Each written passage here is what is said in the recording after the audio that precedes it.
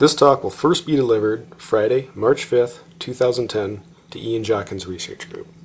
I will discuss the physics, experimental observations, and modeling methods used to determine how water propagates through the subglacial drainage system. First, I'd like to discuss three physical mechanisms through which water is stored and released into the subglacial drainage system. The first of these are subglacial tunnels. Tunnels are formed as a balance of melting due to turbulent water flow and creep closure due to ice deformation. In these subglacial conduits, the discharge of water and the pressure in that water are inversely related. That is, if we have a large tunnel with a large amount of water going through it, it will have a lower pressure than a smaller tunnel with a smaller amount of water going through it. These subglacial tunnels have been observed at the terminus and lower reaches of glaciers and ice sheets, and in addition to that, dye experiments often show that water near the terminus is primarily routed through subglacial tunnels. The second mechanism I'd like to discuss are distributed or interconnected cavities. These form on the down glacier side of bedrock highs. Flow of water in these systems is usually not described by its path, but rather by the discharge flux in the hydraulic head. However, these systems can be observed in nature or experimentally as well.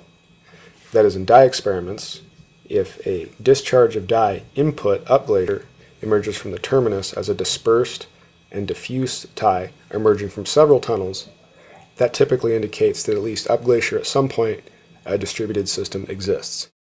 In addition, subglacial cavitation, which is a symptom of a distributed system, is implicitly observed when water filling these subglacial cavities tends to raise the surface of the ice up.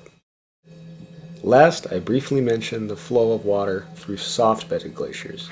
In soft-bedded glaciers, the glacier rests on a sheet or distributed set of subglacial sediments which are permeable, deformable, and compressible. The water flux through these sediments is described by something called Darcy's law, which is a lot like Fourier's law. It states that the water flux through these sediments is proportional to the pressure gradient. Therefore, if you increase the pressure gradient, you can push more water into this till. Today I'm going to focus on distributed and interconnected cavities. In a follow-up talk, I'll also talk about tunnels and then briefly describe saturated till. So we all agree on what we mean when we say a distributed system. Let's consider an ice column that sits in the middle of a glacier or ice sheet. Water is stored on the surface of this ice column in either snow, firn, or supraglacial lakes. Crevasses or moulins exist in the interior of this glacier which can deliver water from the surface to the bed. And at the bed, we have a series of topographical highs in the form of bumps on the bedrock. On the lee or down glacier side of these bumps are cavities. Water is then pushed through these cavities down glacier by a pressure gradient. Now that we all have the same qualitative picture in our heads, I want to turn this cartoon into a quantitative model. To do so, I'm going to use conservation of mass for water flow near the bed of this ice column. In the figure you're looking at right now, you see a series of expressions and arrows in a volume element sitting near the bed of this ice column.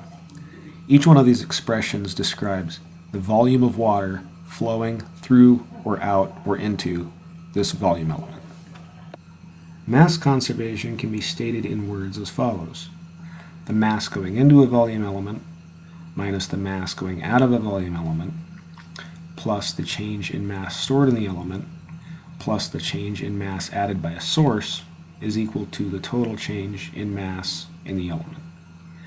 Now, mass conservation and volume conservation are identical in the case where you have an incompressible fluid, like water in this case.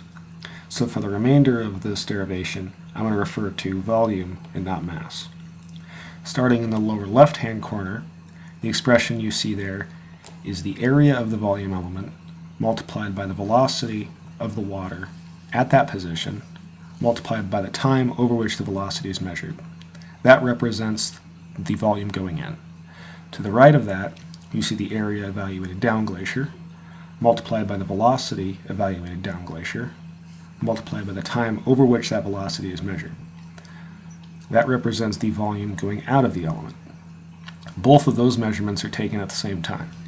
During the time we measured the velocity going into and out of the subglacial volume element, the cross-sectional area of that element may have been changing. Between the downglacier and upglacier grid points, we measure the time rate of change of the cross-sectional area. We multiply that times the time over which that area was measured multiplied by the downglacier distance. This gives us a change in volume stored in that element. In addition to the volume stored, the volume going in and the volume going out, there may be a source term. This represents either a volume sink or a volume source supplied by, say, a conduit or a crevasse. In summary, these expressions provide a volume or mass balance, if we multiply through by density, in the subglacial drainage system.